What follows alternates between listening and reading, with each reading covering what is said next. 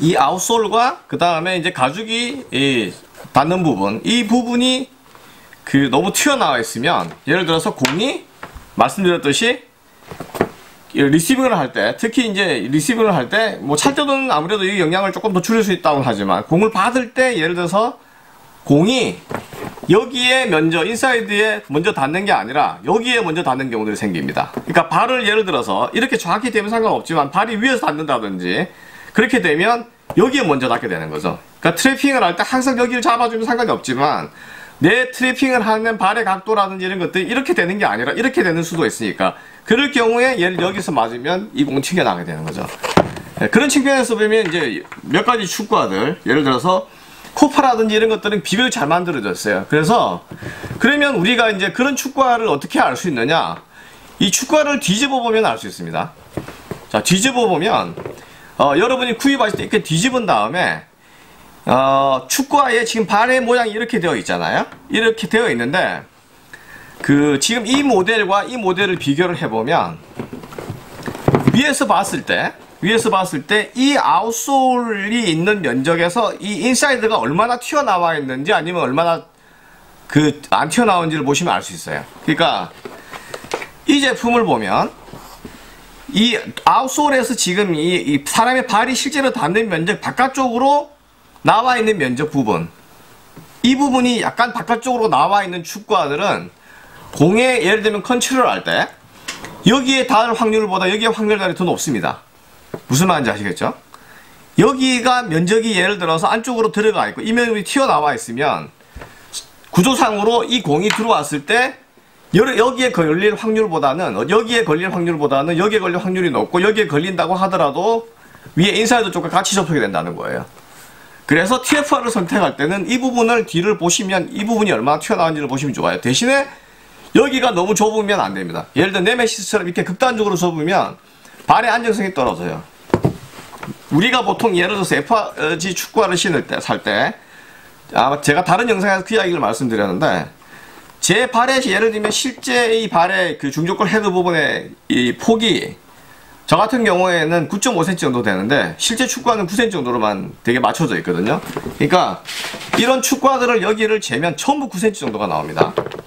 이렇게 재면 TF화든 뭐든 9cm 정도가 되는데 요 정도 길이에서 이 뒷부분이 예를 들면 요 부분의 폭, 그 다음에 말씀드렸듯이 이런 9cm 정도 돼 여기가 4.5cm에 들어가고 뭐 5cm 들어가거든요.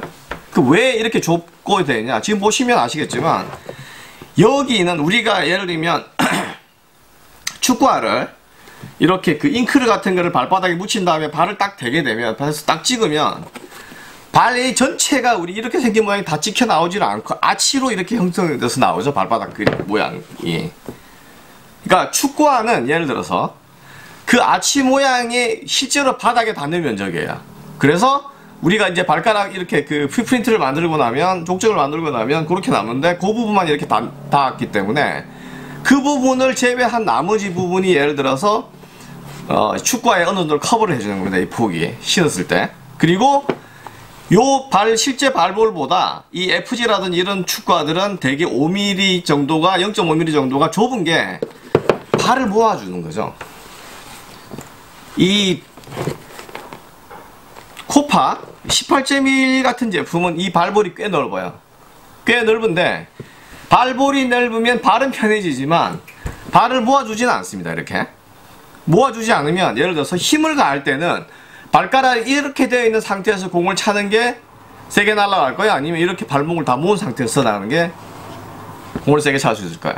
당연히 모아줄 때 힘을 집중할 수 있죠. 이렇게 되어 있는 것보다. 그러니까 발볼이 반드시 넓다는 것 자체가 편함은 유지시켜주지만 공을 차는 예를 들어서 강도를 강하게 하는 데는 마이너스 요인이에요. 그러니까 축구하는 발볼이 넓은 게 예를 들면 장단점 발볼이 좁으냐 넓으냐는 착용감과는 연관이 있지만 예를 들면 이 축구화의 기능성을 극대화하는 데서는 전혀 다른 해석이 가능하다는 겁니다.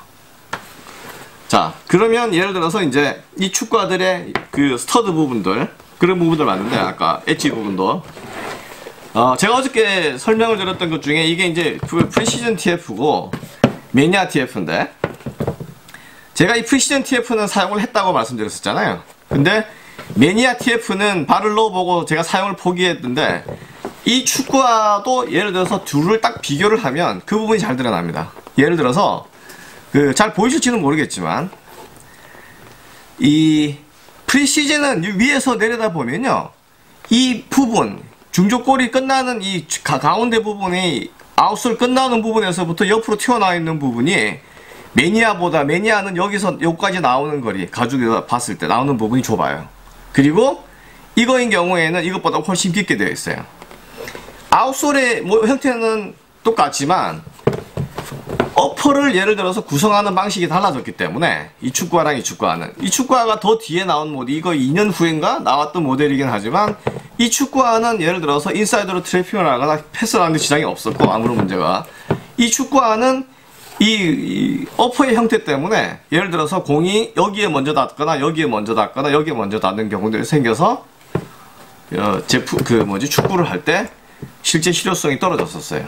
그러니까 이제 이 정도 그 저기 뭐지 그 축구화에 대해서 예를 들어 TF화의 이제 기본적인 특성들 그 다음에 장점들 이런 거를 어느 정도 파악이 되죠.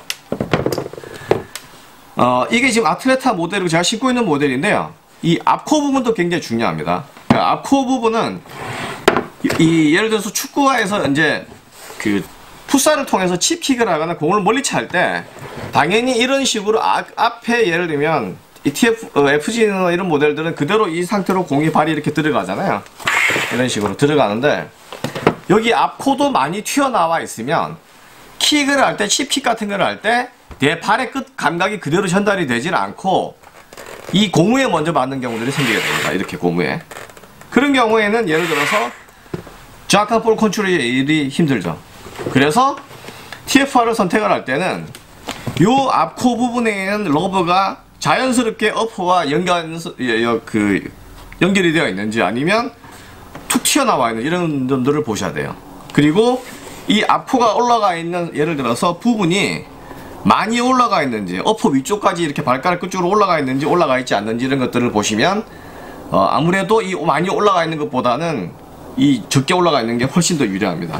어, 여기 지금 디아도라가 어, 없는데 제가 디아도라 하나 보여드릴게요.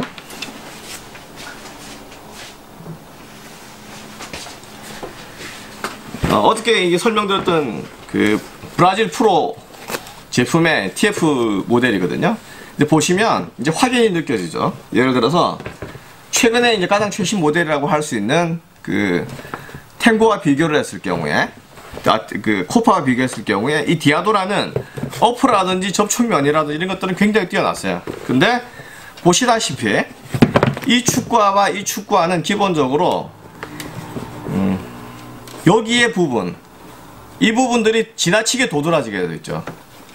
비교하면 그러면 아까 말씀드렸듯이 공이 여기에 여기에 닿을 확률이 이 코파보다 훨씬 더 높습니다. 그러면 이 축구화는 예를 들어서 안정된 볼 컨트롤이나 그런 것들이 어려워져요.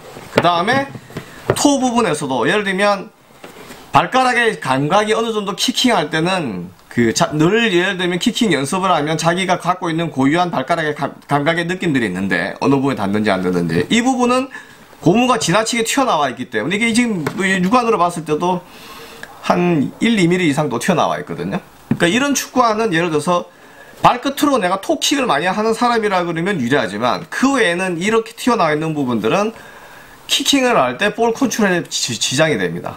왜냐하면 내가 공을 이 발을 그 밑에 밑에 넣어서 찰 때내순 온전한 발 감각에만 의지하는 게 아니라 이 고무 부분이 킥에 영향을 미치기 때문에 영향을 주기 때문에 그래서 이 이런 TF들을 선택을 할 때는 조심하셔야 돼요.